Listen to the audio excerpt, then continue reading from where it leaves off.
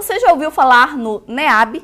O NEAB é o Núcleo de Estudos Afro-Brasileiros e Indígenas. Instituído no IFRN desde novembro de 2011, o núcleo é uma iniciativa política, pedagógica institucional com o intuito de valorizar as diferentes manifestações culturais de etnias e segmentos sociais, preservando o direito à diversidade.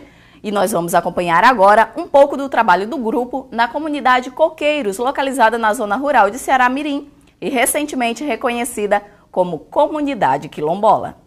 A voz de Dona Ivone Lara entoa em um dos seus sambas. Negro é a raiz da liberdade. É inspiração, silêncio, saudade. Mas do que? Cândido Firmino Júnior não sabia bem a resposta até ser despertado para a história do seu povo. Quando eu comecei a estudar, né, eu, eu, eu descobri muita coisa né, em relação à minha família que até então eu não sabia, né? Eu cheguei, sei que estava, conversei com minha mãe, conversei com meu pai, minha, conversei com minhas, minhas avós, que coisas que nunca tinham sido comentado, né? Sim. Tipo que o meu bisavô trabalhava no engenho, em Seramirim, que até então eu não sabia, coisa que, como eu falei, até antes ninguém se falava nisso, a questão era um tabu. A comunidade ninguém falava a questão do quilombola, do que trabalhou em engenho, que era escravo. Descobrir sua história levou Júnior a se perguntar por que esse passado não era assunto de conversas entre os moradores de Coqueiros reconhecida no início de 2017 como comunidade quilombola. Muitas vezes, é, eles próprios que moram aqui, eles não se reconhecem, auto-reconhecem. E como é importante você saber das suas origens, né? Das suas histórias, a partir das falas aqui das próprias pessoas aqui da comunidade, a gente percebe que há uma lacuna, né?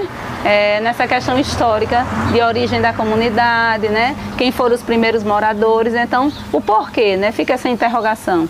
O porquê que essa história não foi passada de geração em geração. Os primeiros moradores chegaram a Coqueiros por volta de 1855. Os primeiros habitantes que chegavam aqui, né, que chegaram aqui, eles trabalhavam com, como trabalhavam com mão de obra escrava no, nos engenhos de Seramirim, de lá eles vieram para cá. Eles fugiam e vinham para essa região, pra, e vinham se escondendo nessa região.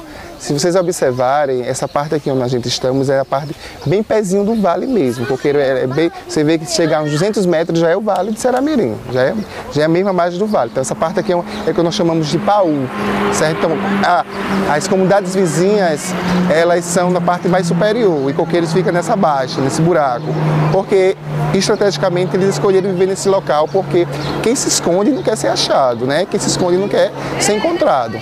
E a rota passava por cima. A rota de, de Seramirim para ir para as praias não era passada por, por coqueiros por baixo, ela passava pela parte de cima. Então era uma maneira certa de eles não ser descobertos, certo? E o nome coqueiro se deu a partir de um, de um coqueiro que existia lá no início da comunidade e era um coqueiro que tinha uma, uma certa contornos tortos, certo? Então é esse coqueiro, eles, eles assim, era a comunicação entre eles, né? Dizendo, vocês vão encontrar depois do coqueiro, vai ficar atrás do coqueiro, depois do coqueiro, tá? Aí a partir daí a gente é, ficou conhecido como coqueiros. Foi com os pés no presente que Júnior se tornou historiador. Ele foi buscar nas histórias contadas pelos moradores o espelho para a identidade do povo de Coqueiros. E um que, que sempre falava dessa, dessa história, realmente ele era até meu tio, ele já também faleceu, mas ele contava muito bem sobre essa sobre essa parte aí dos quilombolas e tal, como era que era, né, antigamente. E ele contava o quê? Ele contava que que ele como assim, ele era também era que nem era isso que eles plantavam muito, que hoje ninguém vê, né? Dificilmente é, é, é ver, porque isso aqui antigamente era era plantado tudo isso aqui. A vida inteira a gente foi é, criado e sustentado porque eles vendiam grude, beiju, essa questão aqui da, da comunidade. E isso já veio trazido do meu, da minha bisavó, foi deixado para minha avó e meu pai fez até se aposentar. E hoje em dia quem dá continuidade em relação à nossa família é uma tia nossa, uma tia nossa que vende essa questão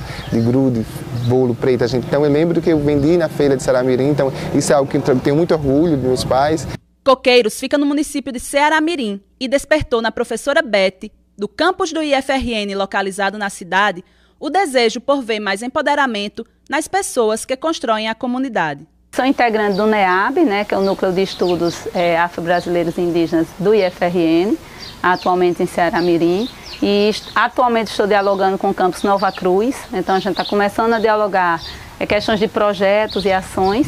E no primeiro momento, né, como foi uma, uma fala de junho, é, querendo dar visibilidade à comunidade de coqueiros, e veio a ideia da questão de uma exposição fotográfica, que ela fosse itinerante, né, ela percorresse os campos de FRN, também viesse para a comunidade, né, uma forma da comunidade também se rever. Em relação à comunidade, eu acho que isso é o retorno que eu preciso, enquanto cidadão, enquanto morador, eu preciso dar esse retorno à minha comunidade, é mostrar para todo mundo a nossa história e ter orgulho disso, né? Ter orgulho que nós somos é, temos, é, temos uma herança de um povo que, que lutou, um povo que mostra que resistência. Não é motivo de vergonha, é motivo de orgulho. Resistência e luta. Resistência e muita luta, né? Até hoje nós vivemos através de muita luta. Júnior é vice-presidente da Associação dos Moradores de Coqueiros.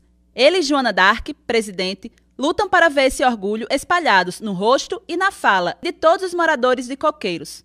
Juntos com o IFRN, buscam oportunidade e liberdade para que tenham cada vez mais orgulho de ser quem são. É, eu me orgulho muito de ser o que eu sou mesmo. Eu não quero ser outra pessoa, eu quero ser eu mesmo, o negro mesmo.